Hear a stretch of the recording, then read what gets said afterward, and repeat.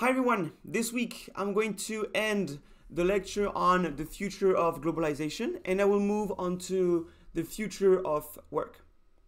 Last time I left off at the uh, occurrence of telerobotics and remote intelligence.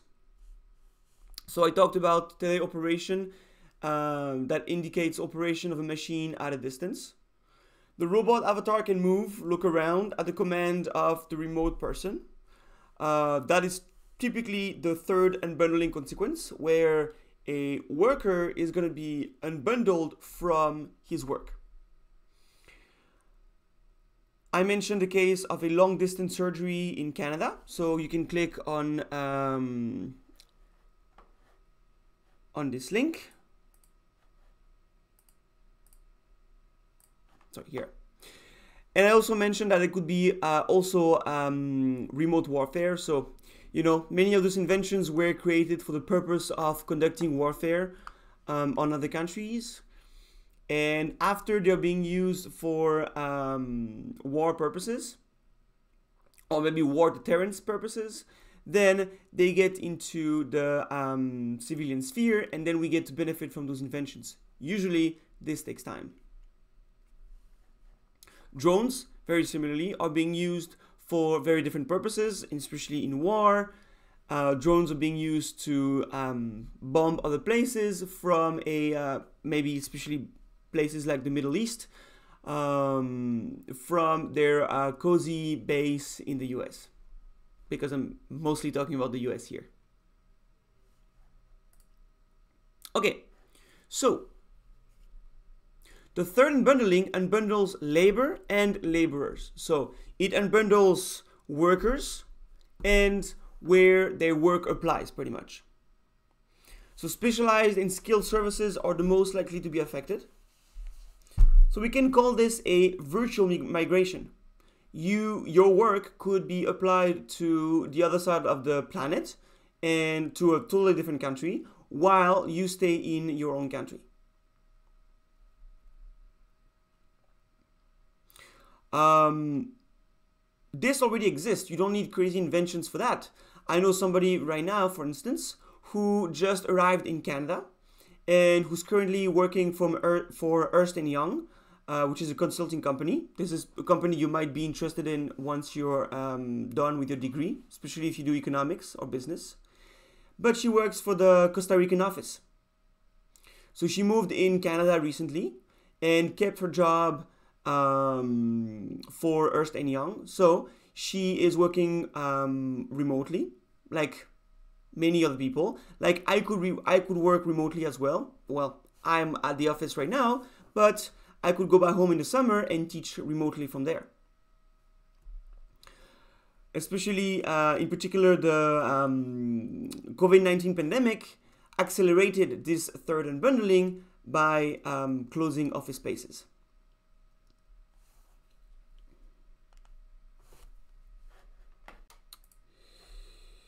Let me do something quickly.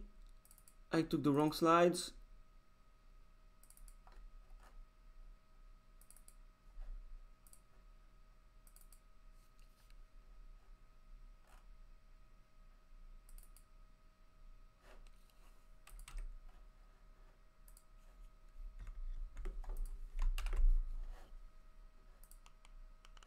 There we go. Oh. What's going on with this? Yes, okay. Just wanted to get points uh, Schwab one by one. Okay.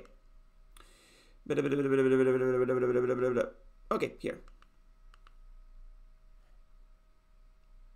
So, the third unbundling is going to allow brain jobs um, to be offshored. Telepresence is relevant for offshoring because humans are involved.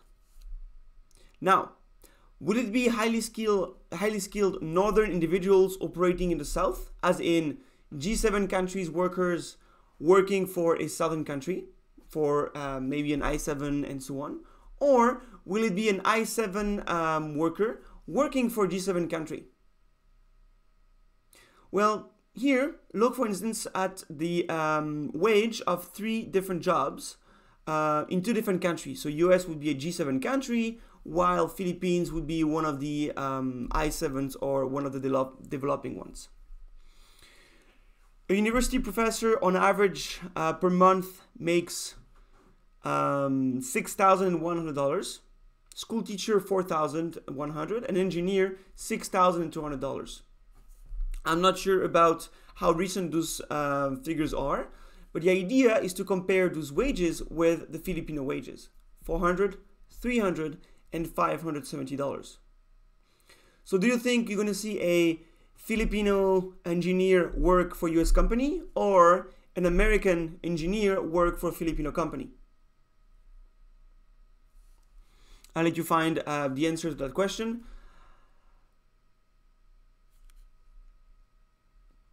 But chances are that uh, the South should be able to exploit arbitrage opportunity. And this is what um, I'm going to get to in the next slide. So the third bundling is likely to be based on micro outsourcing. The ability to get uh, individuals to perform small, disjointed tasks as part of a larger project with all this taking place over the web. I mentioned the use of Trello, Slack, um, Zoom, and other um, collaborative platforms. Typically, those platforms can allow teams of people from um, different places in the world to work on the same project. People can just each bring their contribution. It could be sometimes pretty small, sometimes it could be big, and uh, that would represent offshoring pretty much. In fact, in research, that has been happening for a very long time. When you have a co author who works in another university, you have to collaborate with him.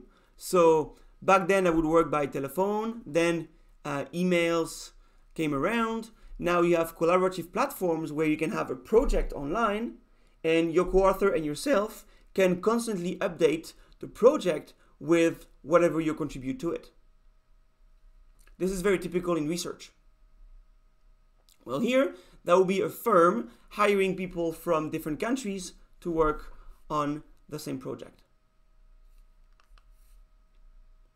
So virtual presence will make the fractionalization of activities and offshoring much easier to coordinate. The same way right now, it is way easier for me to coordinate my class with you guys. Um, well, there is 200 of you in this cohort. Today, only 68. But you guys are all over the world. I checked the survey I sent you recently with where you are studying from and where you are from. Sometimes these countries are not the same. You might be studying from Canada while being from Australia. Um, virtual presence made this whole thing happen quite smoothly. This way, Africa and South America, who um, seem to have not joined the global value chain revolution yet can do so. Given that G7 service sector wages are often tenfold or more uh, those of highly workers and highly educated workers in developing nation, there's going to be a scope for arbitrage opportunities for developing nations in particular, and in particular highly skilled workers, which will be in demand for um, virtual presence. This should be a lower impact for services, uh, service sectors, as physical presence is still needed. If you think about social and healthcare services, you still need to have some proximity. You still need to have somebody to, to take care of you. So, you know, um, if you need, if you are at the hospital and you need somebody to change your your bed sheets, you're gonna need a nurse or a care aide to take care of that in person. Hairdressing. If you want to get a haircut, well, chances are you're going to need a human to uh, take care of that. Maybe one day we're going to be in a case where a hairdresser could manipulate some sort of a uh, an avatar, a robot, maybe some kind of Edward Scissorhand robot uh, remotely, and still perform, um, still make pretty good haircuts. That might happen but that might represent a pretty high cost, especially when you look at the price of a haircut now, at least for a guy. I can still get haircuts for $15, um, sometimes even $10 if you find some places. Um, I know that for women, haircuts are a bit more expensive.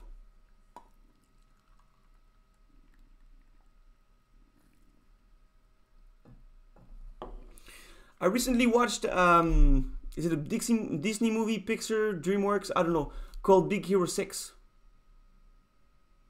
I actually liked it. I'm not a big fan of those animated movies anymore. Um, I find them pretty cheesy and not really. I don't think I'm the target. But I liked I liked uh, I liked Big Hero Six, and one of the interesting concepts about this movie was that there is this um, what's his name? The white the white avatar, B- Baymax. I already forgot. so anyway, this uh, in this movie there's a guy who comes up with an invention, Baymax. Thank you very much, which is a robot uh, that can um, offer customized customized care for um, on a personal basis. So this uh, robot can take care of your vitals, can uh, analyze you constantly, can keep track of your sleep, can keep track of your pulse, of your blood flow, and so on, and can offer you assistance without having a um, an actual person, an actual human being, um, taking care of these tasks. Before we get to a fully automatized um, robot, we can maybe get to a remotely controlled avatar. So Baymax, before being fully autonomous, could maybe remotely controlled by somebody in a hospital. Uh, it could be nearby or far away. So you might not need to go to the hospital to get a um, to get let's say a uh, blood test. Maybe this avatar could take care of all of that.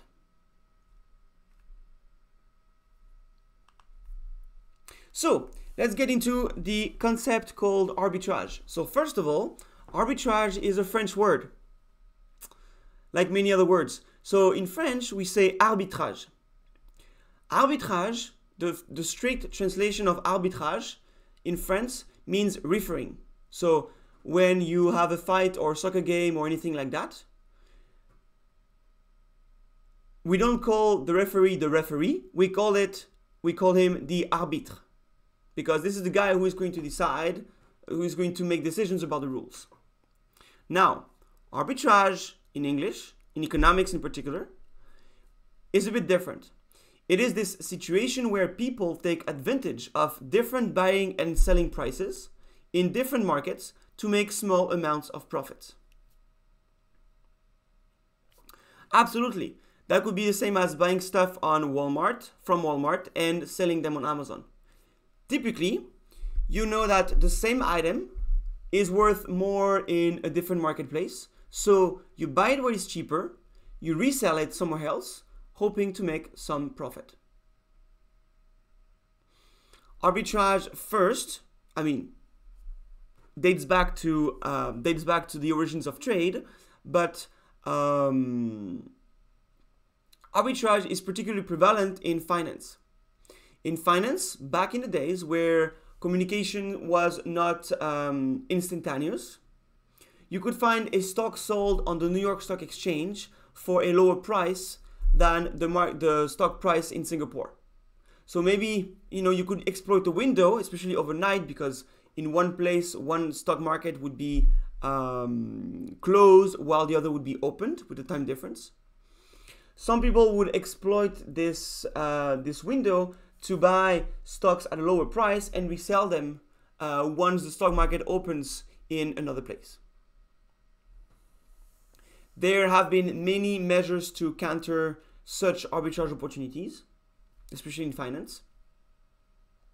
But if you think about trade back in the days, merchants who would go from one place to um, to another might be able to you know find a marketplace where a, a good is very abundant because maybe there's a production nearby due to favorable uh, climate or favorable agricultural conditions in general. They could buy a good for a low price and go to a marketplace where this good is pretty rare, so they would be able to resell it for a high price. That's arbitrage. the difference between the buying and the selling price would be large enough to cover the costs involved in executing the trades, transaction costs. This is also the case I heard about um, Costco in Canada versus Costco in the US. So I've been to Costco twice in my life and I love it. I just don't have a membership.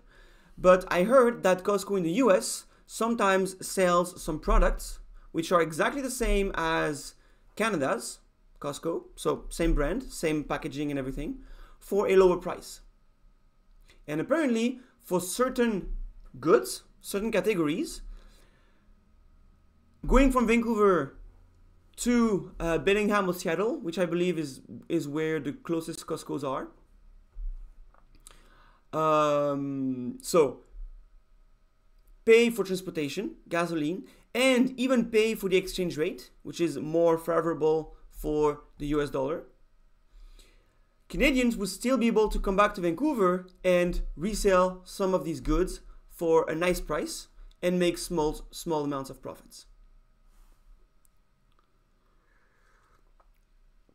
Of course, there are regulations between the US and Canada regarding the value of um, things you can carry over the border. So there would, if you get checked, if your trunk gets checked and you bought way too many things uh, as opposed to what you're allowed, then you might you might subject to a, you might be subject to a fine and you might not be able to carry some of those goods over. Absolutely, I think it was called uh, Pirate Joe's. So somebody in Vancouver uh, tried to open a Trader Joe's store and tried to sell Trader Joe's goods, which you cannot find in Canada. And I believe the store was called Pirate Joe's or something like that. Eventually, they got caught and they had to close down. I love Trader Joe's and I still don't understand how come Trader Joe's doesn't sell more of its stuff here, or maybe doesn't sell them at all. Because Vancouver is typically the kind of marketplace where Trader Joe's would sell. So I have no idea why Trader Joe's is not trying to open um, open a place or branch in Canada. But yeah, definitely I know that there is definitely a high demand for Trader Joe's. Every Vancouverite that I know that goes to the US every now and then, make sure make sure they pass by Trader Joe's in Bellingham or Trader Joe's in Seattle.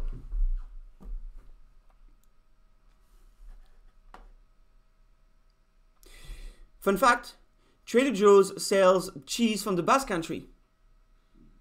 Cheese from factories I worked for. So when I went there and I saw cheese, what I was uh, that was from my hometown, I was like, "Ooh, it's pretty expensive." That was the first reaction. But second was like, "Oh, that's that's cool that they get stuff from uh, from up there." So, in our uh, context, Wage differences reflect the cost of living differences and migration restrictions. So somebody who's highly skilled but is living in a developing country might be able to work remotely for a developed country, get paid the wage of a developed country while living in a developing country with lower standards of living. Virtual presence creates the possibility by, of bypassing migration restrictions without caring about the cost of living differences. You live here, you work there. So, conclusion about Force 2. Telepresence technology is improving, getting cheaper, and accelerated over the year 2020 because of the pandemic. The third unbundling amounts to unbundling labor and worker, or labor and laborer. That corresponds to virtual migration. Skilled services are going to be like are likely to be affected. In particular, services because uh, we don't need to be um, in person to execute tasks, some service tasks. For example, teaching as I'm doing now teaching as I am doing now might not be as good quality as in-person teaching because of maybe a lack of interaction with students or maybe a different rhythm um, regarding the way the content is covered. Um, invigilating tests and preventing cheating is still pretty difficult, so it might not be optimal, but it's made possible.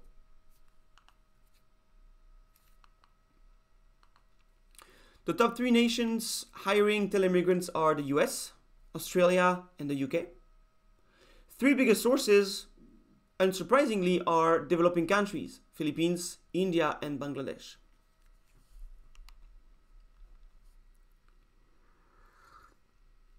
The last thing I want to mention quickly is the emergence of computer integrated manufacturing, which is um, pretty much ruling the whole production process with computers. Not just machines being operated by people, like we had in the second unbundling, but rather computers um, organizing, organizing the whole um, production process. There's a radical reduction in the fixed cost and time delays associated with new products and models. Oh, US, Australia, and the UK. United Kingdom for the top three nations. There is a shift away from mass production of identical goods to mass production of customized goods, but all of these can be programmed in a machine. The machine you can just press a button and say, boom, I want to go from green to blue. I want to change the color. And you can already start customizing goods a bit. Although, of course, the core of the good is still the same.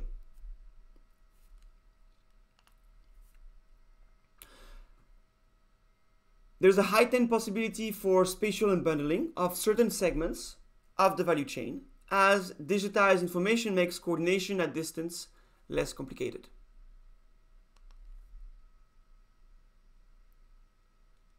A bundling of many tasks previously undertaken by individual workers of different skill levels into advanced machinery and computers leading to a threat to jobs. Of course, there is always gains and pains. But the idea of computer integrated manufacturing is very related to um, what a um, what's it called? Is it a crockpot or an instapot? one of the spots are big and actually have a whole programming and they can even make chocolate mousse. Instapot? Maybe. Thank you. So, chocolate mousse is a very easy recipe to make, but it requires you to beat the eggs in a specific fashion, then to fold the uh, egg whites with the chocolate in a very specific fashion to create this moussey aspect. That's my go-to recipe. It's very easy to make and always works. Don't order a chocolate mousse in a restaurant. It's not worth it. It costs it costs 50 cents to make at home, honestly. And usually you're gonna pay five dollars for it. Anyway, I'm getting carried away. Some of those spots, you can make lasagna, you can make chocolate mousse, you can make all those different things by just pressing a couple of buttons.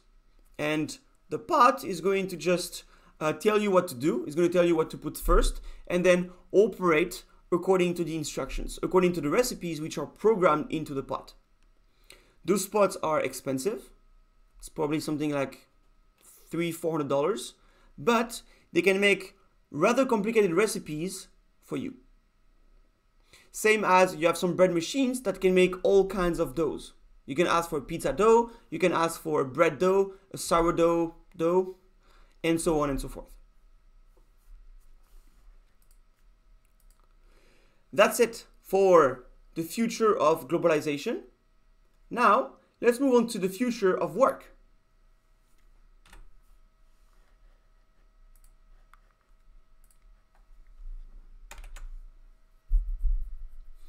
So, I talked about the third unbundling as a new uh, change for globalization.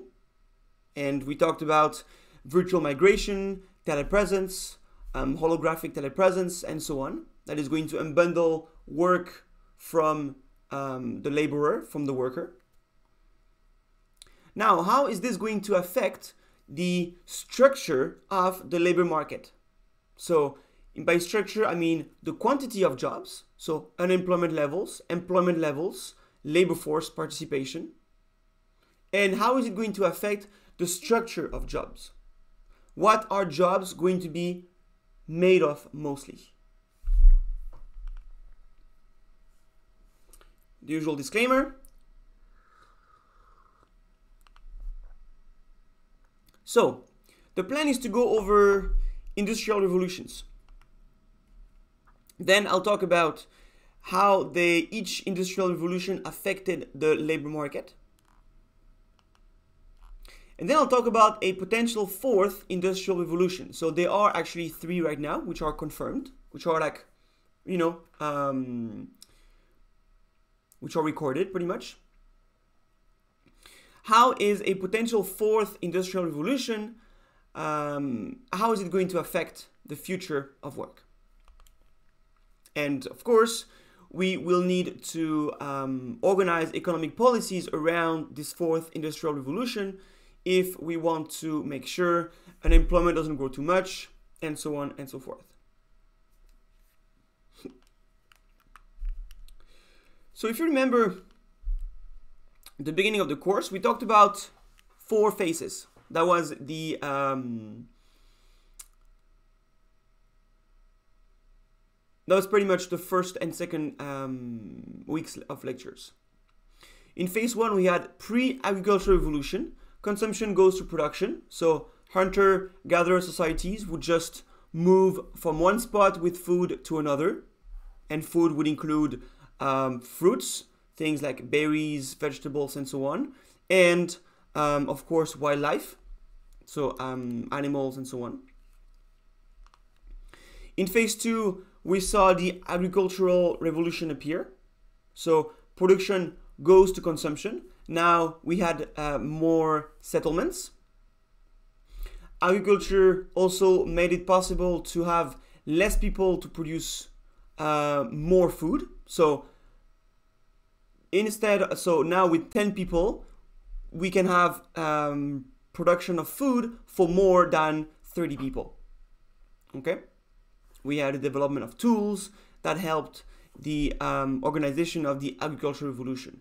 Of course, to organize crops and fields and so on, societies, um, civilizations had to settle around um, favorable lands for agriculture. So we talked about different uh, river valleys, like the Nile Valley, the Indus Valley, Mesopotamia, and so on. In phase three, we saw the steam revolution appear. So we had the first production and consumption and bundling.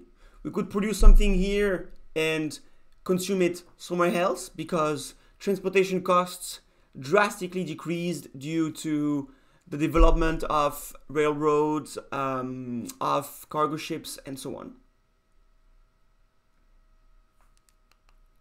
In phase four, we talked about the ITC or ICT revolution, information uh, technology and communication or information and communication technology revolution. We had a further unbundling, but this time about the different stages stages of production due to a lower cost of moving ideas. So now we can get something produced um, through different stages, through different firms, through different countries. So we don't talk about a country having a comparative advantage anymore, we talk about firms having a comparative advantage in the production of that specific part. I talked about the whole process of uh, developing an industry for a developing uh, country in particular. Instead of building a supply chain like before, then developing countries or developing countries' firms can just join a supply chain chain and little by little take more activities in the chain if they want to build their industry. So this organization of phases can help us understand international trade and globalization. It helps us understand trade patterns at different points in time.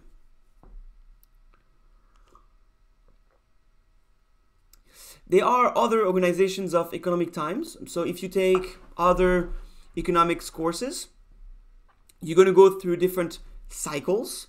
There are things. Uh, there are things like innovative cycles, innovation cycles, um, real business cycles. Um, there was another some kind of growth cycles. We went over um, commodity super cycles. That was another way to look at the unfolding of the second unbundling. But the different industrial revolutions help us understanding the uh, trade and production patterns in the world.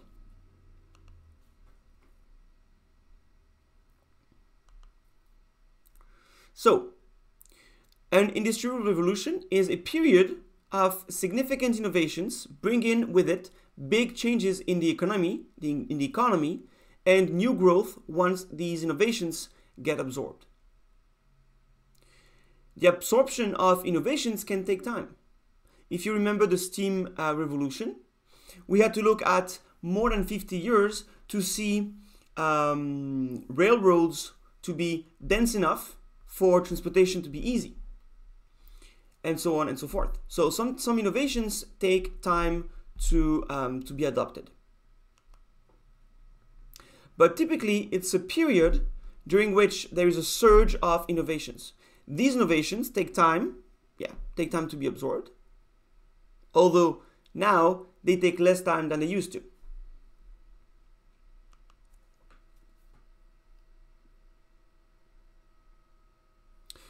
So we could say that industrial revolutions are um, to innovations and large economic changes what bundling or unbundling is to international trade. So let's date those revolutions. The first industrial revolution would be the steam revolution.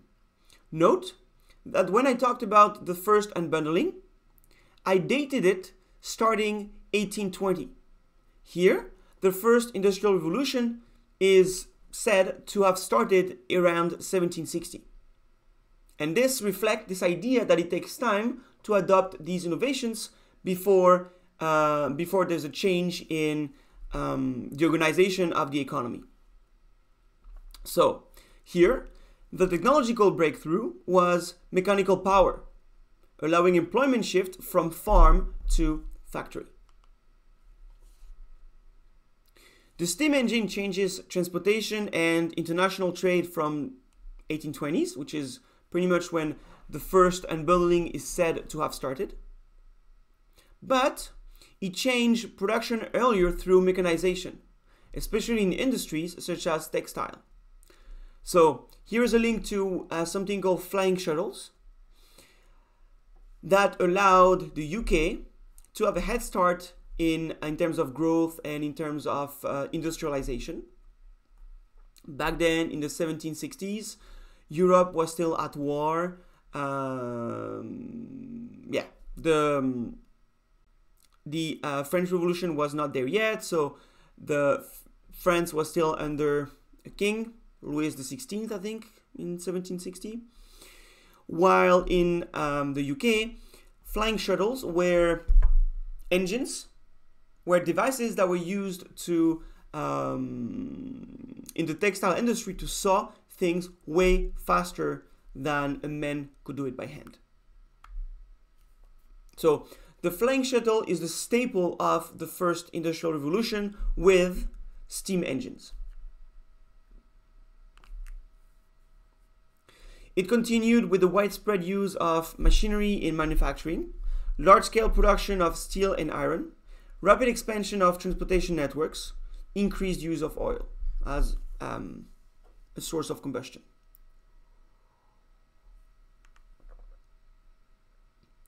The second industrial revolution actually is not related to the second unbundling. It happened before the second unbundling. This is the revolution that was triggered by electricity. So that was uh, that dates back to 1870 all the way to around 1914, pretty much until World War One. And the breakthrough here was the advent of electricity leading to more sophisticated machines. So the scale and scope of mechanization become much deeper. In fact, it is also around those years that um, that the fractionalization of the production process increased. So you heard of Fordism, Ford had this whole conveyor belt organization where one person assembles one piece, the piece goes on the belt, onto the next worker who assembles another piece and so on and so forth. This is still the case in many factories nowadays. In particular, in the pharmaceutical industry, where you have uh, machines that are going to create, for example, pills. They're going to put uh, the product in the pill. The pills are going to go to another to another um, spot on the belt, and so on and so forth. Some of those spots are taken by human beings who have to, let's say, um, maybe put some pills into some holes, then into some molds. Then the molds go onto a machine.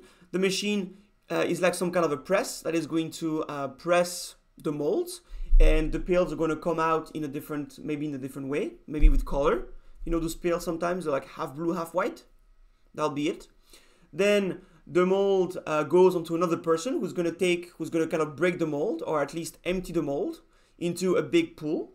So all the pills are going to be in a big pool. Then this pool is going to go somewhere else where another worker is going to check if all the pills are good and is going to maybe take some of the bad pills out. Maybe some of the pills that where the paint didn't uh, apply, like the, the colorant didn't apply, or some of them which are broken, and so on and so forth. On to the next one, who is going to maybe box them. So he's going to select, let's say, make groups of 10 and put them in a specific box. On to the next one, who is going to put a tag on the box. On to the next one, who's going to take them for shipping. In the cheese factory I worked in, we are we have pretty much have the same process, but it's not the entire process. We have a first process where the milk comes in to a press, is being heated at a certain temperature, and it becomes kind of solid. It becomes like kind of tofu. Then it's put in a mold, being thoroughly pressed. We take it out of the molds. We put them in another type of mold. Then this mold, this molds, individual molds are going to be put in a room where the cheese is going to stay for a couple weeks, is going to dry pretty much. Then somebody's going to take them out. Then they're going to go to another place. Finally, they're going to get wrapped up. Then you put a specific tag to them depending on where they go, depending on what product they are. Finally, they go to shipping, and somebody is bringing them to the truck, and the truck is going to uh, deliver the cheeses wherever they have to go. It's pretty much the process of making cheese. Okay. The third industrial revolution is pretty close to, to the second bundling. It again started before the second bundling due to the time it takes to adopt these innovations. Here, the breakthrough is the computerization, leading to an employment shift from factory to the office. So, back in 1970s, computers were invented, they uh, allowed many tasks to be handled digitally rather than by hand. Think about an accountant. Back then, an accountant had to report every single number in an accounting book, had to compute them with a calculator, or even back in the days, they had manual calculators. They had ways to, to, to do computations without an actual calculator. So that led an employment shift from the factory to the office. The adoption of computers and associated inventions. So barcodes were a huge invention, invention back in the days. They allowed many retail stores to proceed to do inventories very fast. They can just check barcodes, um, and that the barcode would directly record the product into the database of the store. Cashing machines, personal computers, word processor. So then you could start typing letters rather than uh, writing them by hand or typing them with the old uh, machine. Spreadsheet software. Imagine how handling data, how hard it was to handle data back then. To record data, you had to input the data manually in a book. Now, you can input them in a software. You can even program the way it's going to input. You can what we what we call um, scrape data online. So you can use a small command to uh, extract data from a website online. Two weeks ago, I learned how to scrape data from YouTube, for instance. So I use a platform where you can write a, a couple of comments. to go to the API, which is an interface um, on YouTube, that allows you to extract information from any video that you like. So if you want to extract data about YouTube and look at, you know, the influence of the number of followers on the number of views or and so on and so forth, you can write a command, an automatic command that is going to extract all the information about certain videos. And by all, I mean you can extract everything. You can it can extract the number of views, the number of comments. You can extract all the comments if you want to.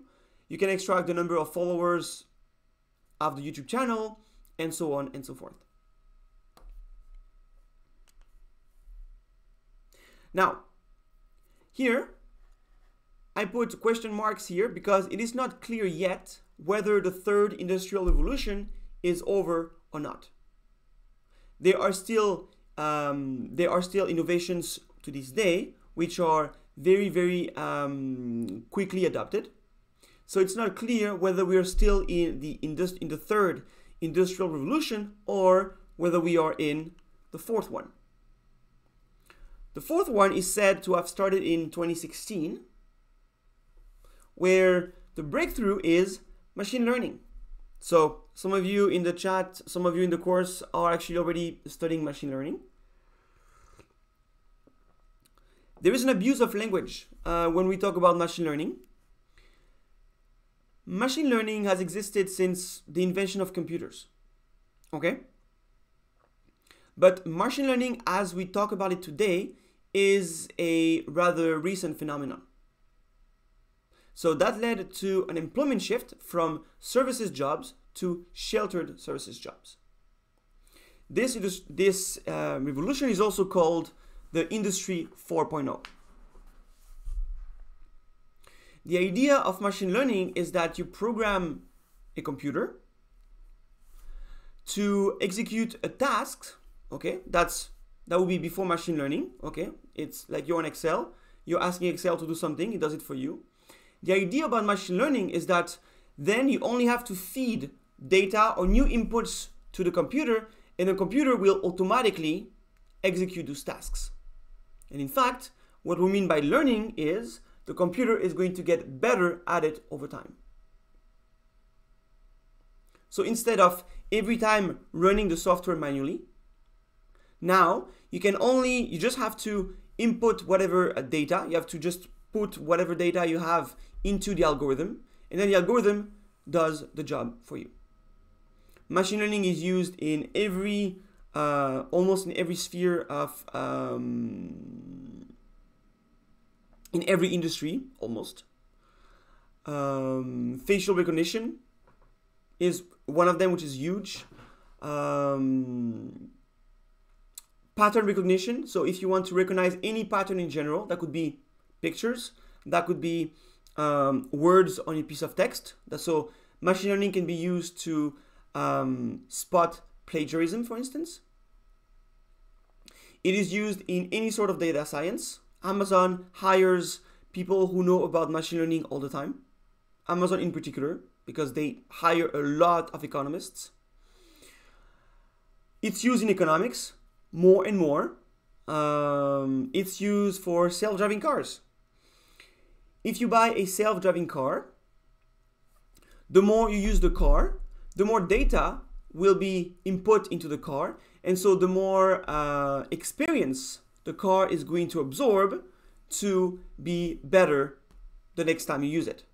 Yes, in general, machine learning is used for predictive analysis. It's used for uh, predictions. Yeah. Among um, in the fourth industrial revolution, you can find the Internet of Things, the fact that things are connected now. So it could be your watch, your phone, and so on. All those things now are connected to the internet, not just computers. Machine to machine communication. So all those things are link are links to Wikipedia pages. So I recommend you to take a look at them. And that leads to enhanced humans. Elon Musk uh, mentioned that on some podcasts. He said that, well, we are already technically enhanced. If you look at your phone, uh, most of you guys have a smartphone, probably all of you. even though you don't have data, you still might have access to Wi-Fi. And as soon as you have access to Wi-Fi, you have access to all of the knowledge of the world. So it's not that you have a chip in your brain that allows you to download information directly to your brain, but it's pretty close. You can just pull up a device and in a couple of touches check anything um, anything you want to. But Elon Musk is also working on some actual um, neural connections. I think he has something called Neuralink. I don't know how far he is right now, but that could be a way to enhance humans further. And it is still open whether this revolution is distinct from the third or if it's an extension of the third, which is why um, I put question marks in the third revolution. Those question marks here are to say that this revolution is not over. It is just the beginning. And it's, uh, it's happening fast.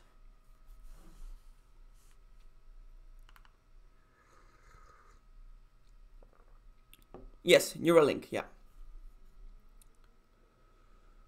So, the first industrial revolution has reached every country in the world, but not in uh, the same way, and has not reached everybody. Up to this day, about 17% of the world population does not have access to electricity and thus access to the second industrial revolution. This is a fortiori true for the third industrial revolution as well. About 50% of the world population still has no access to the internet. And North Korea. They could have access to the internet if they wanted to. Just North Korea has different reasons. So, if you don't have access to the internet or to some sort of a um, worldwide network, how can you even hope to go to the fourth industrial revolution, which is about automa- automa- automatizing, automizing, making it automatic. Uh, thank you, automating, automating the uh, pretty much the third industrial revolution.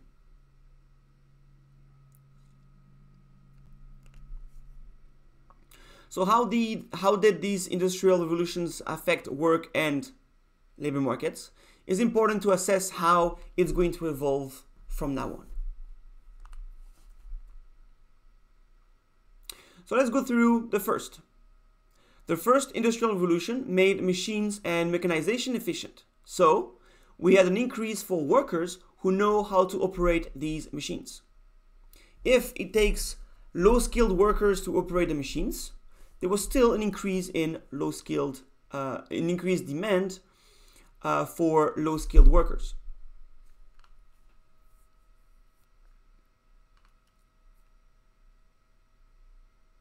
There was a decreased demand for skilled workers. And by skilled workers, I'm not talking about something, someone who necessarily has 10 years of um, university education, but rather somebody who has a specific knowledge, a skill.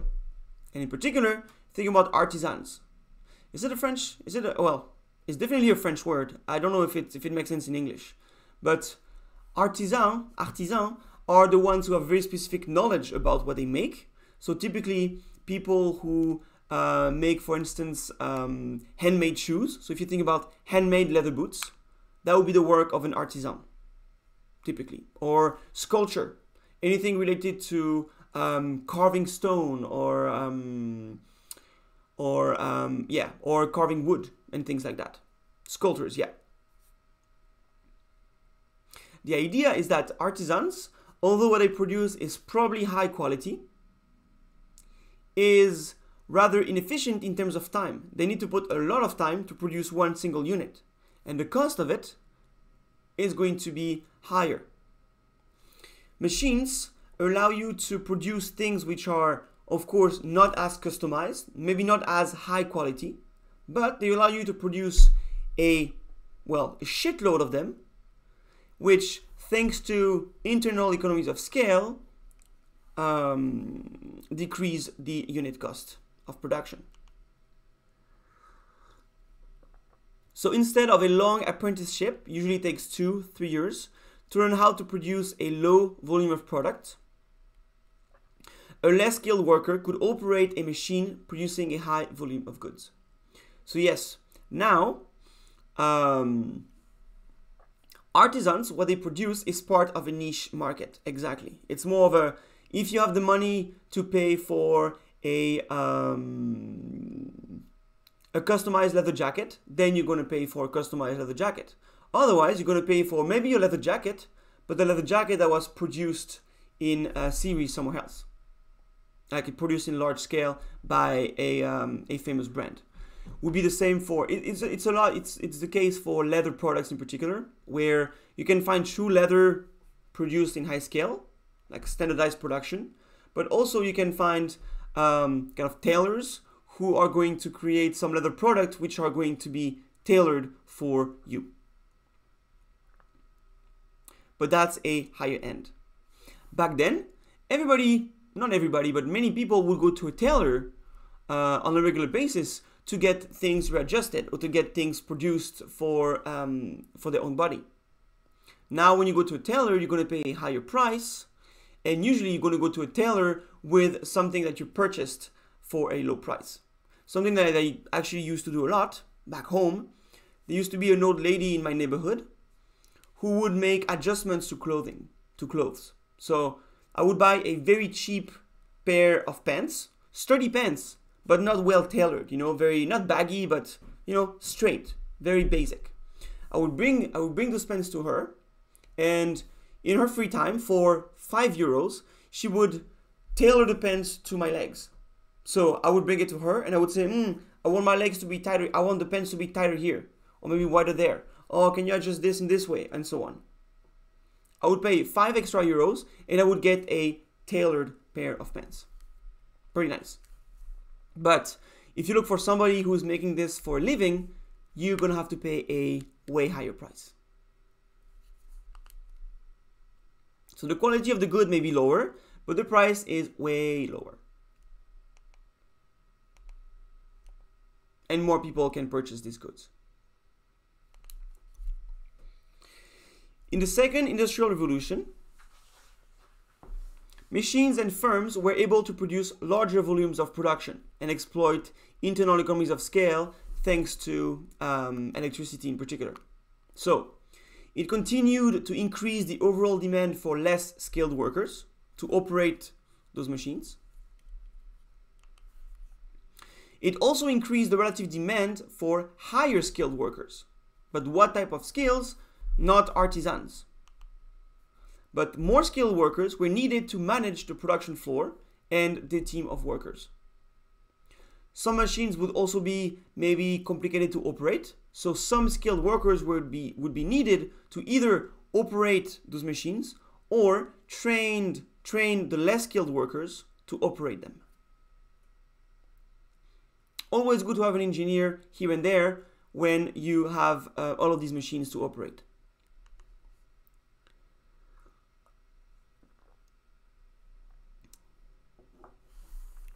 There was also a higher demand for white collar workers, so usually which are also more skilled workers.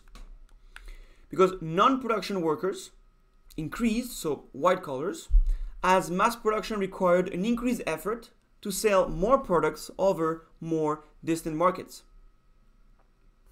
Now that you don't only sell to your um, in your neighborhood, to your city, where you just need to do local advertising, if you want to sell at a national level or international level, then you need white collars to start getting in touch with business partners, getting in touch with customers, getting in touch with retailers, and so on and so forth.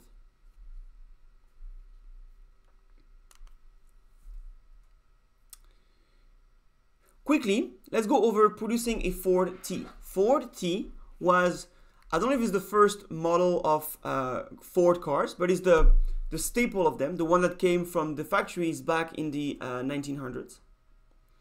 So here is a link to um, to a more thorough description of how it's made. It was designed in 1908 and took 12 hours to produce one car. In 1913, 1914 is when Ford came up with the assembly line to produce the Model T. And it was specifically designed to have unskilled workers. 84 steps were required to produce the car. A worker would be trained for only one of these steps. So work would be very alienating because for eight hours they would do literally the same thing, which still happens to this day, by the way. But that is one of the reason, one of the reasons workers back then would show up at work drunk. The work was very automatic, not very interesting, would not require um, a lot of brain power.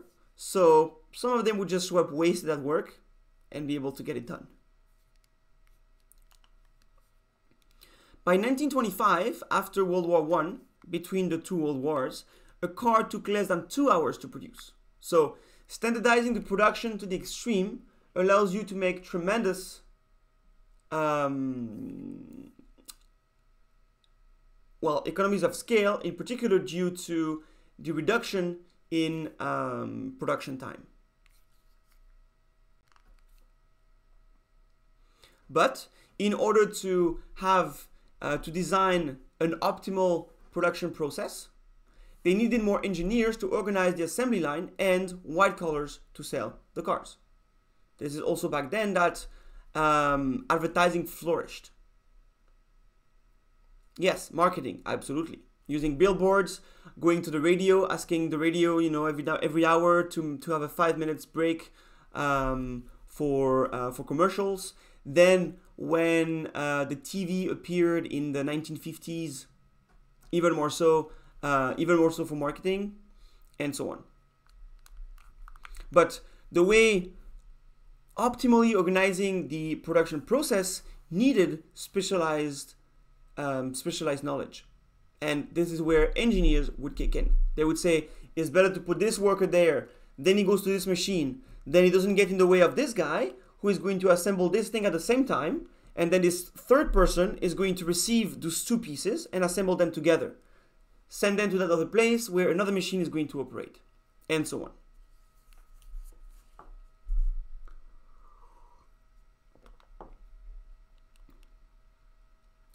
11.31.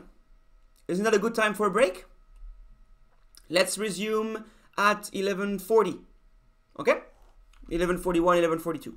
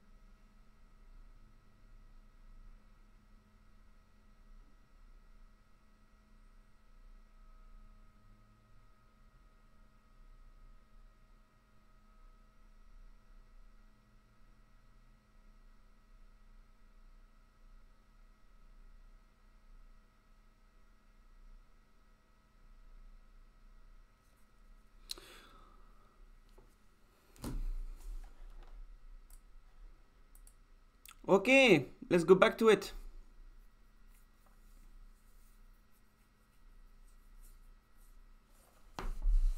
So, in order to understand how industrial revolutions affected the labor market and in which way, I'm going to use some uh, labor market models. So I'm going to use a couple of graphs and uh, I'll ask you to bear with me on these ones and let me know in the chat if you need me to slow down. So let's go through a labor market model. We know that the wages of skilled workers are higher than the wages of less skilled workers. It's just uh, in general, of course, in general, this is something we observe. During the second industrial revolution, the ratio of skilled workers' wages to less skilled worker wages did not change a lot despite having a higher demand for skilled workers. So, because of the second industrial revolution, the blue curve, which is the labor demand, shifted to the right. So what is this curve? Labor demand comes from firms. It is the labor that is asked by a firm. A firm needs labor to produce. On the x-axis, you can find the letter L, which corresponds to labor. It could be um, expressed in terms of hours or in terms of number of workers. The y-axis, W, is going to be the wage. So this is the um, the wage at which workers are getting paid. Now, because of a higher demand for skilled workers due to the second industrial revolution, firms are now willing to offer a higher wage for the same amount of hours as before. So, this shift can be, can be looked at two ways. Take one point here. Let's say this one. This corresponds to this amount of labor. Now that there's an increase in demand for labor, at that precise wage, firms are now willing to hire more workers. So at the same wage, worker firms now want to hire more workers because they need more of these workers. Because of that, since there's a high demand for workers, firms are going to post job offers online, mean, right now. And so, if there's a higher demand for workers for the same supply, supply comes from us, we supply our time, we supply our skills. Then, if there's a higher demand than supply, the new equilibrium will be where the wage is now higher because firms require more labor, they are going to compensate workers more. In fact, this shift in the labor demand is also reflects a shift in marginal productivity of labor. If you're paid up to the amount you produce, then if you are more productive thanks to the second industrial revolution, then firms will pay you more. So, in principle, we should see a higher wage for skilled workers. Yes, not only they hire more workers, but they also pay them more because now they're more productive thanks to the innovations of the second industrial revolution.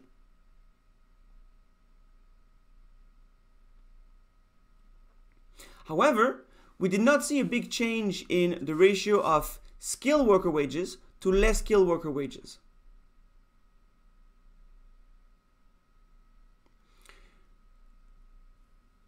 This is also because the supply of skilled workers at the same time increased due to education. And this is what the right graph shows. The labor supply comes from us. So imagine the labor supply for skilled workers okay all both of these graphs apply to skilled workers so there's a higher demand for skilled workers so in principle they should get paid more however we did not observe such a big difference? The idea is that at the same time, there was an increase in the labor supply of skilled workers due to better education in general. So the red curve, the labor supply, also shifted. What that means is that for the same wage as before, which was here, now workers ourselves are willing to work more. We are willing to work more hours. This comes from the fact that there is an there's an extra amount of skilled applicants. So it's not necessarily that you personally you want to work more for the same wage as before. It's just that now there are many more people which are as skilled as you are who are willing to work. And you can see that the new equilibrium happens at the point L prime. So there's a higher amount of workers, not only because there's higher demand for them, but also because there is a higher supply of them. But this higher number of workers or this higher number of hours at equilibrium happens for the same wage as before. Of course here, it's a specific case where I made the shift in both curves such that the wage at equilibrium remains the same. If the labor supply curve did not shift as much, if the red curve here was here instead, then the new equilibrium would be a bit higher for a higher wage, and vice versa. So the second graph here on the right is just an explanation of, is the complete explanation, explanation of why the ratio of skilled worker wages to less skilled worker wages did not change. The left graph just shows an increase in demand due to the second industrial revolution. The right graph shows that at the same time, or maybe a bit later, all, there was also an increase in the supply of skilled workers due to education, so that wages did not change that much.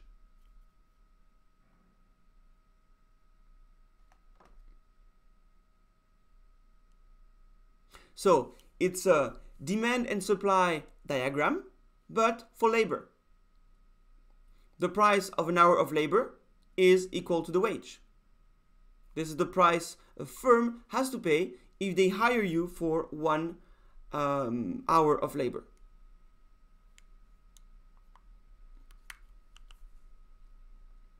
Now, let's go over the third industrial revolution. The third industrial revolution is, you know, the, the appearance of computers, um, internet, and so on. So this had an impact on skilled versus less skilled wages, starting in the 1980s, leading to more inequalities between skilled and less skilled workers.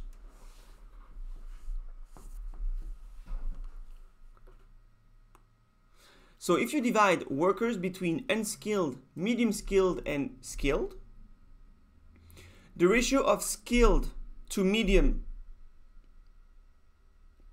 and the ratio of skilled to unskilled increase from the 1980s, which means that either what's at the bottom decreased, which is medium skilled wages or unskilled wages decreased, or what's at the top, skilled workers' wages increased. Well, it's going to be the latter.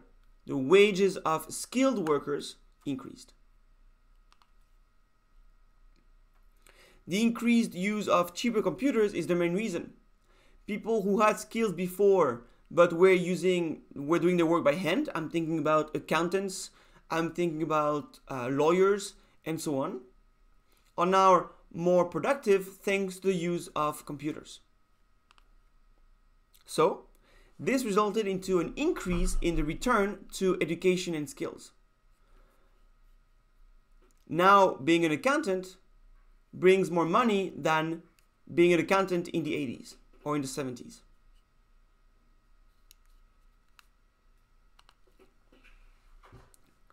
So let's go over quickly how a wage is being um, is being computed. When a worker is paid according to the contribution he or she makes, so of course it's a specific condition when. In particular, here we talk about perfect competition, but that's a model. The wage would be W, wage, is equal to P times MPL. So let's detail uh, those letters. W is the wage of the worker.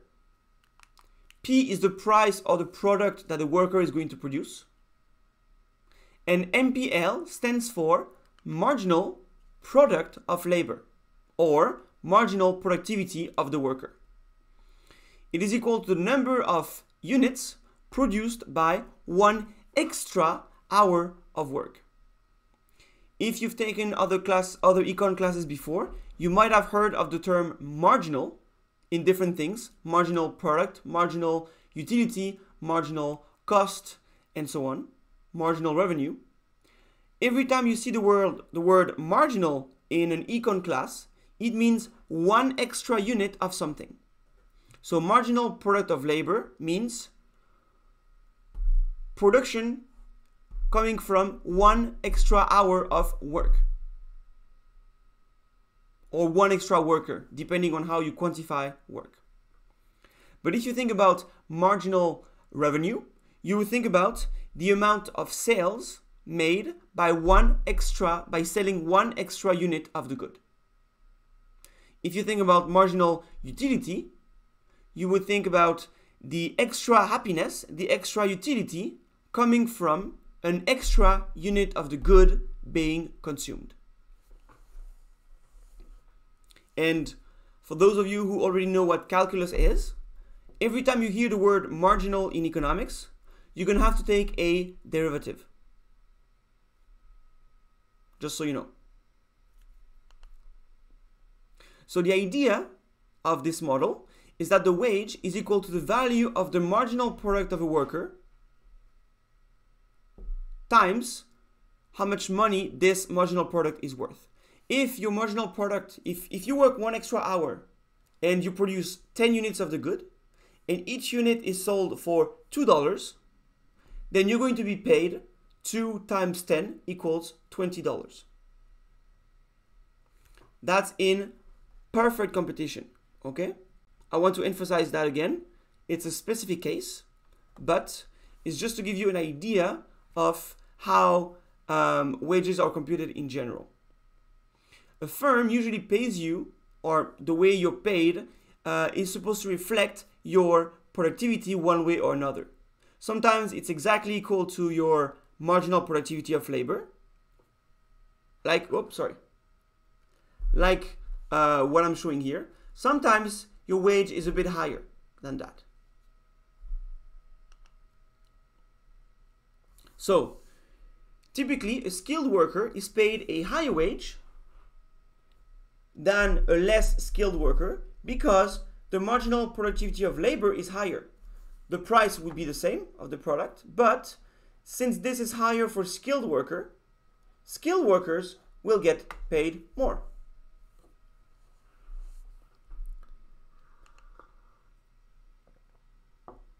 So, suppose the production of a good requires medium skilled workers, medium skilled inputs, and skilled workers. Medium skilled inputs come in two forms. You either have a medium skilled workers or you have computers. You can consider computer as being medium skilled because, well, you still have to operate it. It's not working on its own. In the chat, I am asked, why is it per extra hour of work?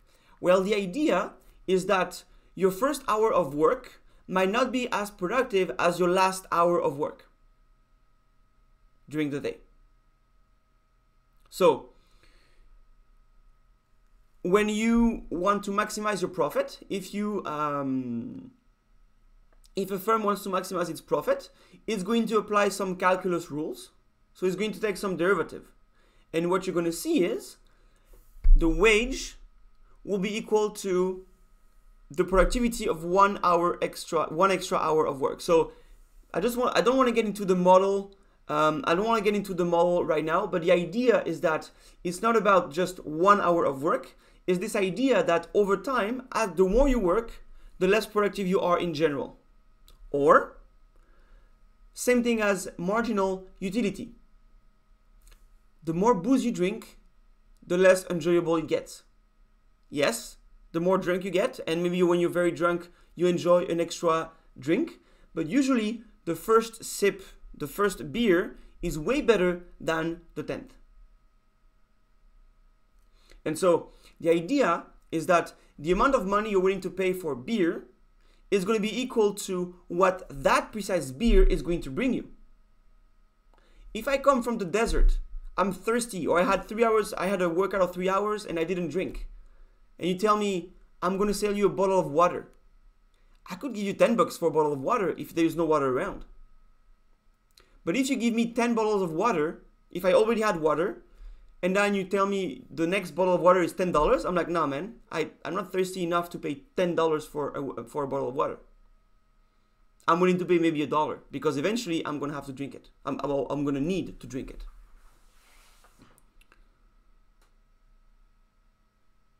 For athletes, it can be the same thing. There is an optimal amount of time an athlete should stay on the field before having to um, to be um, to be replaced by a teammate. It's not that you have to wait for the, for the guy to be gassed out. Because if he's gassed out, next time his teammate is gassed out, this guy might not be as productive when he comes back on the field. So what you want to do is roll them on a regular basis and prevent them from gassing out because it takes a longer time to recover when you're gassed out.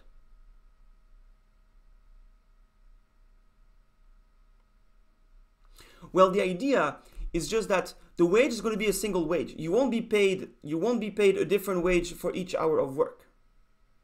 It's just that the wage for everybody is going to be um, decided such that how can I explain this? I won't be able to explain this without uh, putting any math in there. So um, I'd rather uh, I'd rather move on. Um, sorry about that. But the idea is to reflect the fact that productivity is not uh, it's a model um, i'm talking about a model here of course so i don't want to get into the model without talking about the model so um, i'm gonna have to move on sorry about that so medium skilled inputs we have medium skilled workers and we have computers and they are substitutes a computer could be, could, be, could replace a worker and vice versa to some extent Okay, that's the assumption here.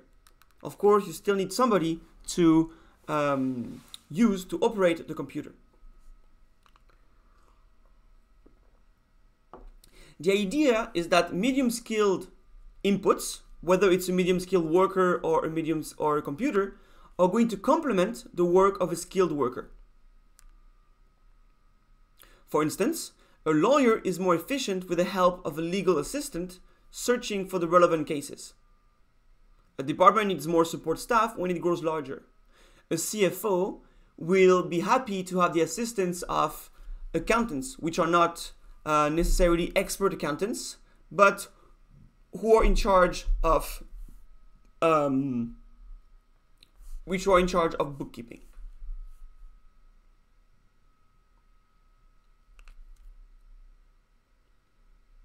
Skilled workers perform complex and non-routine tasks that computers are unable to do, but computers can help them with these tasks.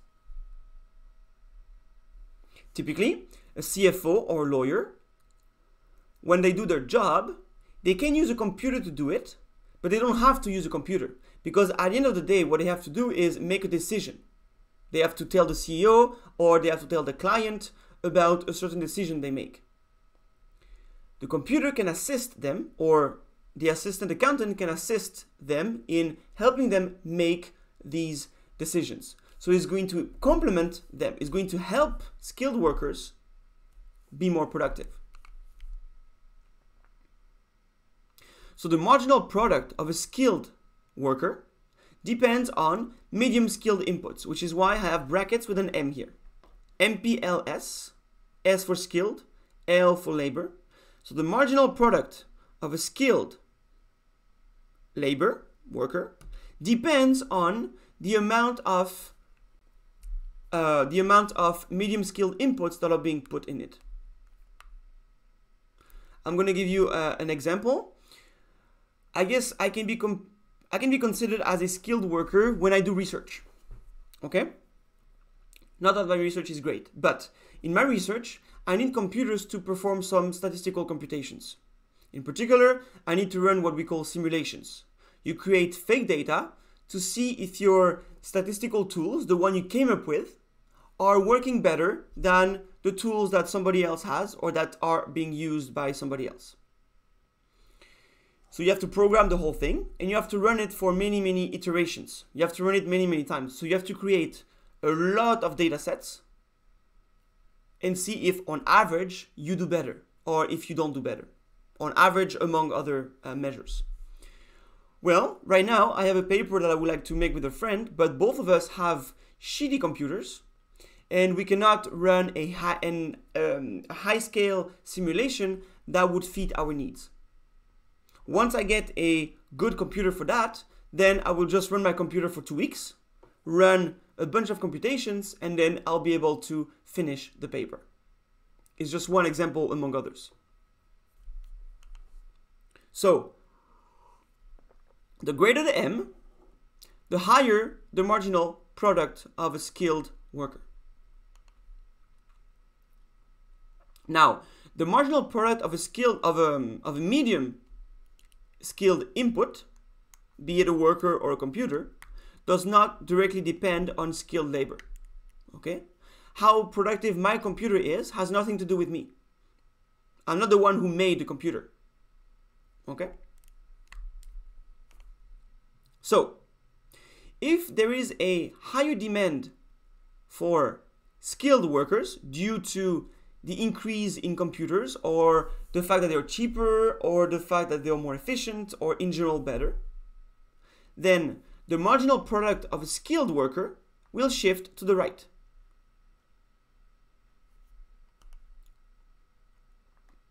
So everything else being equal, a skilled worker becomes more productive with a computer than with some staff.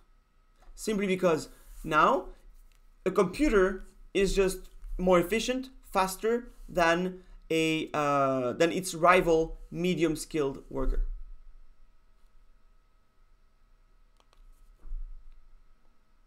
With computers, a firm does not need as many staff members to run efficiently.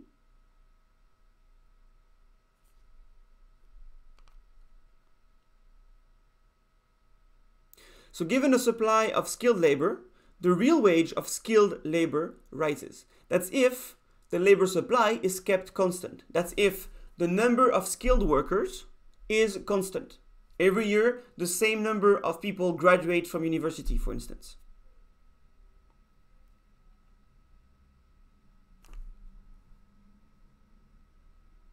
So, let's look at the effect of computers on the market for medium skilled labor. M, medium skilled, uh, medium skilled input, is decomposed, that's just an example here, it's a model, okay, is decomposed into medium skill labor, LM, plus computers. When computers get cheaper, easier to use and can perform more tasks, the demand for medium skilled labor falls and so is the real wage of medium skilled labor. Since now you can substitute computers for uh, medium skilled workers and computers are actually better. You don't need as many medium skilled workers anymore. So the demand for medium skilled workers is actually going to shift to the left. So if you imagine the previous graph, imagine this graph is for medium skilled workers. Instead of a shift to the right, you would see a shift to the left because computers now are better and so they can more easily replace a medium skilled worker.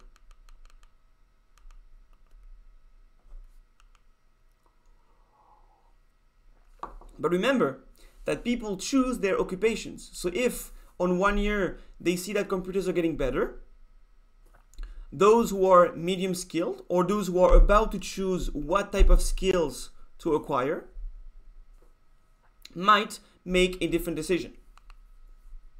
If wages fall in medium skilled occupations and wage rises uh, in skilled occupations, more and more people are going to choose skilled occupations. They see that now being a, a lawyer or being a CFO um, yields more, more money than before for the same training. So they're going to have an incentive to acquire these skills, regardless of whether they are gifted or not. Just pays more. As the price of computer and computing goes down, more and more people will choose skilled occupations. And this is how we also have the shift in the labor supply I talked about before. Most of the time, and I say most, people go to the sector where uh, where money is the best. So not everybody is doing finance, although finance in finance money is nice. Of course, there are different factors coming into this decision. How uh, gifted you are, how talented you are. You might not be good with numbers and be good with analytical skills, or the other way around, or um, you might like something more than another. So you might just go for something because you like it, not because of the money prospects you're going to have after you graduate. Many things are going to come into consideration when deciding what type of skills you're going to acquire. And you guys in Econ 102 are haven't declared a major yet for most of you. So it's going to be time soon. It's going to be time to decide where to go. And definitely you're going to look at, oh, I had a couple of econ classes, I like them, or I didn't. Or, but you can make maybe good money in econ. Trade off, and so on and so forth. But this, um, this um, dynamic is going to describe the relative situation between skilled, medium skilled, and unskilled labor until the beginning of the fourth industrial revolution. Unskilled laborers are still in relative demand because you cannot totally remove humans from factories, at least not yet. Maybe after the fourth industrial revolution, it will be made possible with full automation of the production process, with machine to machine communication. But there's still a, a, certain amount of jobs which cannot be replaced and which are unskilled.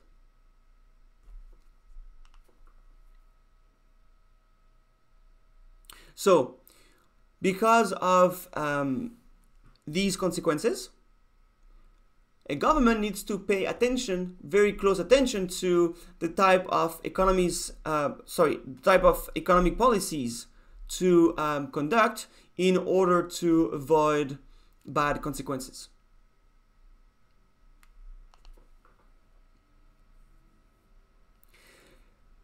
What is the net effect of industrial revolutions on jobs? Every industrial revolution has changed the relative demand among different level of skills. In particular, industrial revolutions, new technologies, um, have a destructive effect on jobs. Skilled artisans lost their jobs after the first industrial revolution. Semi-skilled workers with the third, so the medium-skilled workers, same thing. And every time, it created fears that technology would outpace, outpace the creation of jobs and fears that unemployment might be widespread due to the fact that innovations go faster than jobs are being created. So there will be eventually a total replacement of jobs, at least of some types of jobs. Keynes in 31 wrote, due to our discovery of means of economizing the use of labor, outrunning the pace at which we can find new uses for labor. And that explains in particular anti-innovation actions. In the 1800s, there was a movement led by, uh, in the UK, led by the Luddites. I'm not even sure I'm, I'm saying it the right way. You can check uh, what the Luddites are online. It's a group of people who were protesting against the flying shuttle.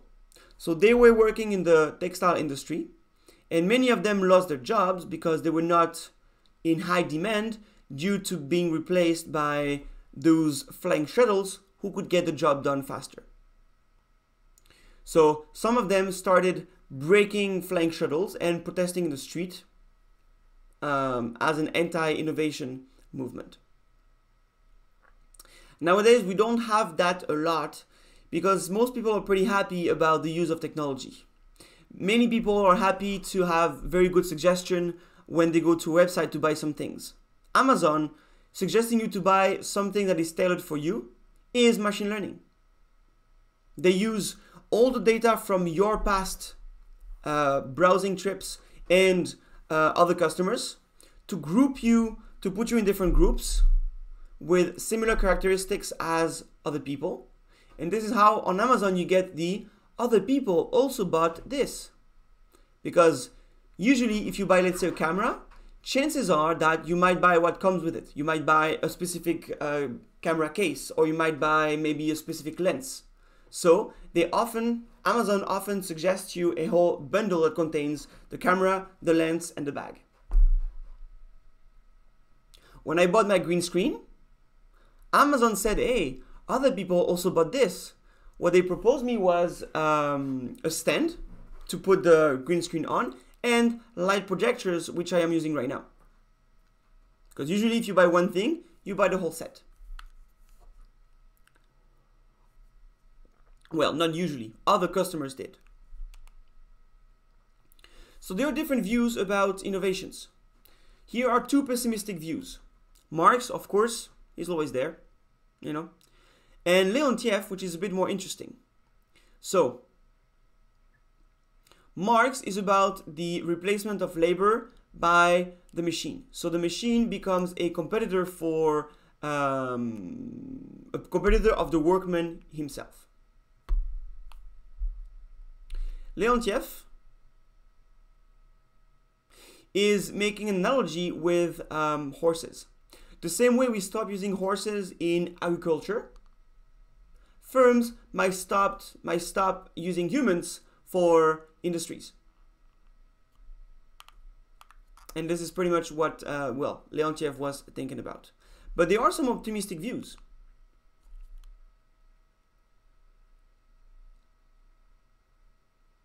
There are some beneficial employment effects. They might be long term, they might be hard to see and hard to quantify, but they are long term beneficial and employment effects. There is one more optimistic view that I didn't mention, but there's this idea that labor in general, especially the labor that is being replaced, is grueling. You know, eight hours of work in a factory and so on is not for everybody. And many of those people don't have any energy to invest in their personal development um, activities. So they go home, and now that they have access to Netflix, they just become a couch potato at home. Watch Netflix, go to bed, and um, repeat the next day. So there is this idea that maybe innovations might free humans from labor, or at least from the shitty labor. And that also supports the argument behind the universal basic income. That would be an income that everybody can perceive without having to work. The idea is that if jobs keep being replaced, then many people will be without a job, first of all, in the short run, and in the long run, maybe the annoying work, the physical work that maybe nobody wants to do, will be replaced. Maybe there will still be some skilled works work, like you know, lawyers, policemen. Those people will never be replaced. But those who don't necessarily have these skills might still be able to survive without having to work. Uh, Manitoba did an experiment. Oh, I didn't know. I knew that uh, I think it's Finland who's working on it. One Scandinavian country, either Finland, Sweden, or Norway. Um, but the funding is also another issue because if you want to fund universal healthcare and universal basic income, then you're going to run into uh, deficits pretty quickly. So with the fourth industrial revolution, same fears exist. So before getting into the fourth industrial revolution, let's get into uh, the impact of the previous revolutions on jobs. First of all, industrial revolutions destroy jobs. Mentioned this many times. But they also create jobs, either in different sectors or in different industries or in the same industry but at a different level in the production process. And yes, industrial revolutions disrupt industries. They make some jobs obsolete, create unemployment, but they lead to new jobs, new firms, new industries. Things are moving constantly. It can be hard. It can be a hard um, pill to swallow when you lose your job because a machine is replacing you, and chances are you will never find a job like yours ever again.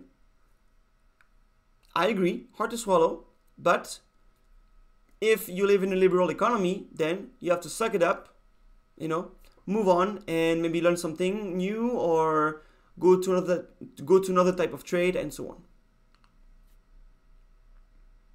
So industrial revolutions like globalization change, uh, like globalization, change relative prices which create winners and losers as usual, gains and pain. Uh, they there's going to be innovations are going to lead to sunset sectors and to sunrise sectors. You just have to know which sector is the sunrise sector and um, you know make your own spot in it until the next one. But so far, every industrial revolution created more jobs than it destroyed. Of course, we can look at that in hindsight because all of these revolutions happened a long time ago. But in the short run, definitely what people remember most is the destructive effect. The demand effect usually takes time to emerge.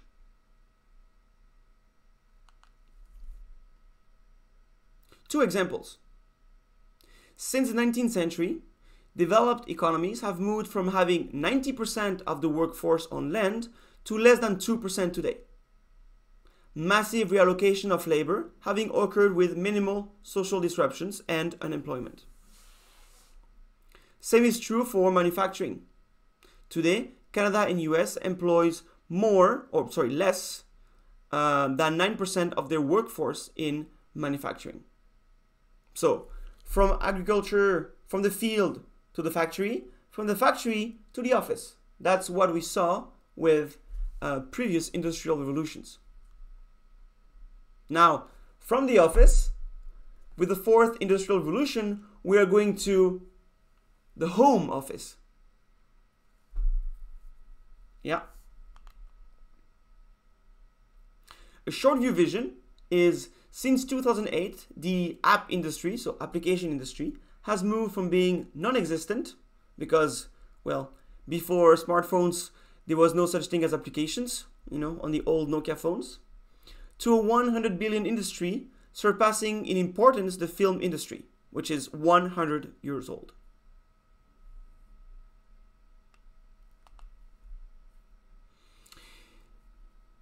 Let's look at an illustration. ATMs and bank employment. ATMs are great.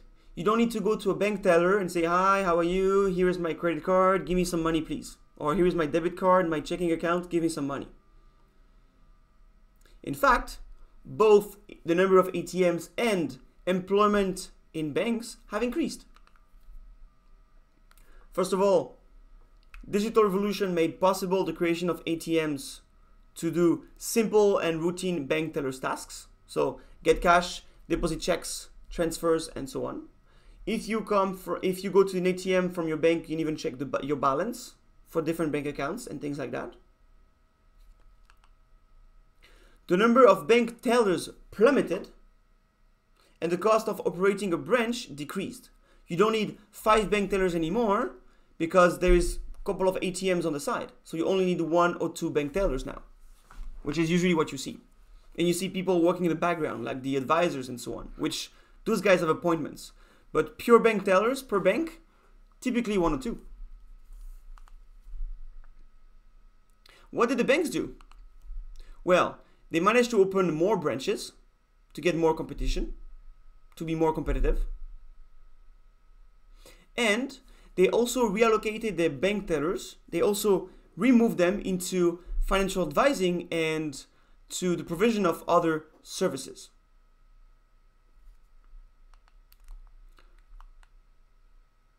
The result of this has been twofold.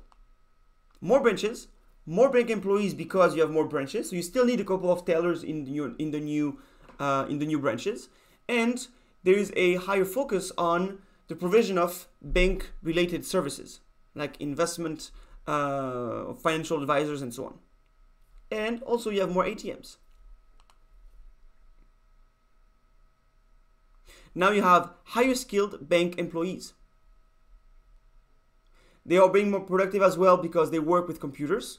So if you, instead of going to the ATM, you go to the bank teller to uh, deposit something or to register for some direct deposits and so on, computers also allow them to get the job done fast. And that's because computers complement their tasks. The same way computers complement the tasks of an accountant.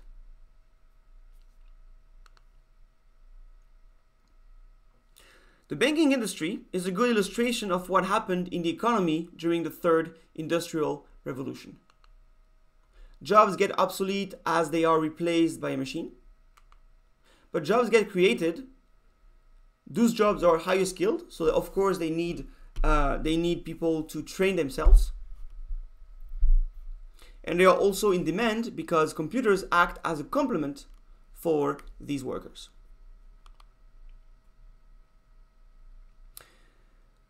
let's end the lecture here today. I am going to um, I'm going to cover the last part of this lecture next week after the quiz. Okay. In particular, I will talk about net employment effect and the effect of elasticities, uh, the impact of the importance of elasticities on um, on these employment effects. In the meantime, have a good week and See you in the next one. Bye.